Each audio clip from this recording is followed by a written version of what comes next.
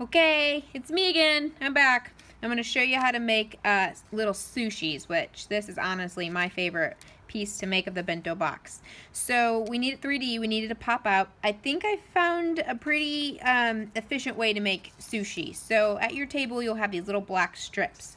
All you need to do for this little black strip is glue it in a little circle like this. Now, I've been using the this kind of glue, the wet glue. If you want to use a glue stick or if you want to use a tape, up to you. Find what works for you, but if you use glue, you are, you are going to have to hold it for a little bit and make sure that it stays.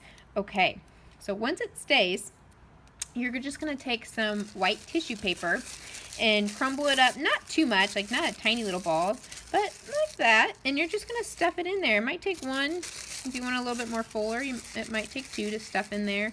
I figured this is a little bit better than cutting little tiny pieces of white paper for rice and trying to get that to pop up because remember we need it to pop out to be a sculpture. Um, so this works really nicely. If you have a different way, um, do it. You can try it out. You know, there's not one right way to do everything. Uh, and you have your creative license, so feel free to use that. Okay, so I've already made a bunch of little sushis. And you know what? It would be kind of cool too. Um, totally up to you, but if you cut little pieces of paper to make it look like the insides, because sushi has sometimes little pieces of salmon inside, or crab, or avocado, and all sorts of different stuff. You could cut little pieces like this, and you can glue that on top of your tissue paper to make it look like little pieces. So that's kind of fun. It's a lot of fun. Yeah, just a little bit of glue. Stick it on top. Make sure that it's secure in there on top of something. You're going to have to manipulate it a lot to make sure it's showing how you want it to show. So you get the idea. You can glue things down like that. Okay, if I just leave this like it is without being attached, when it it's time to put it away, it's going to go everywhere and your sushis might be lost for eternity. So you have to secure everything, you guys, before you leave art class.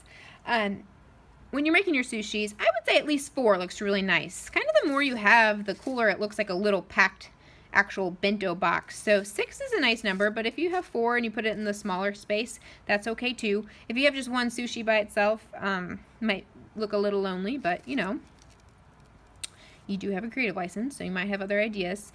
I, I don't know if I found a great way to glue this down. In the past, I put some um, wet glue around the rim, the bottom of the sushi, and really held that in there for a while to make sure it sticks.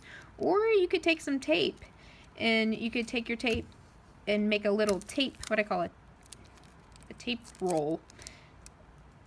And make a tape roll so it's sticky all the way around.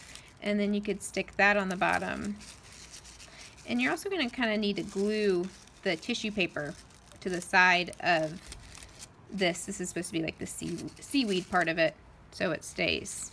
And I would spend a while working on these little sushis, sticking them in there and putting cool little pieces on top. If you um, have had sushi before or know a different way uh, that sushi looks, be my guest. Make it. Have fun with this. So that's how to make the little sushi parts.